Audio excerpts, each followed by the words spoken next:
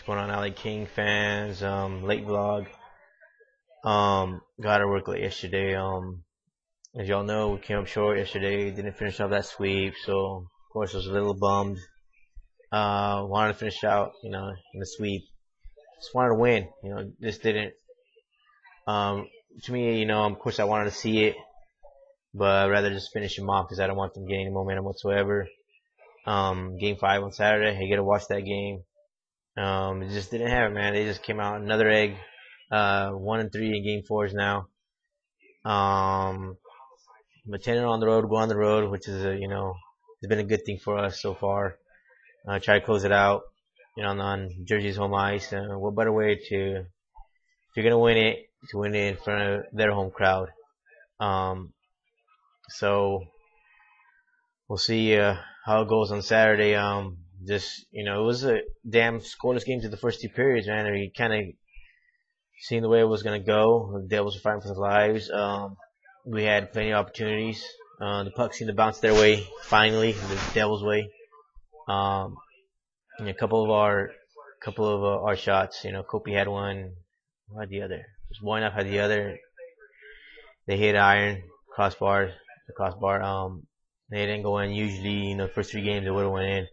Um, you know, so they got they got the lucky breaks to this uh, game four. Um, it was, it was scores all the way up to the third period until um, Elias um, scored with a tipping rebound, put them up 1-0. But then we responded a minute later, a power play, our third power play uh, goal of the of the series. Uh, Doughty tied it at one.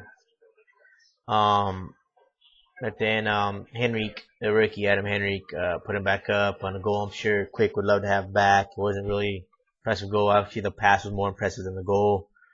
Um, you got to give Devils credit though. Um, hit off the post and, this, and it went in.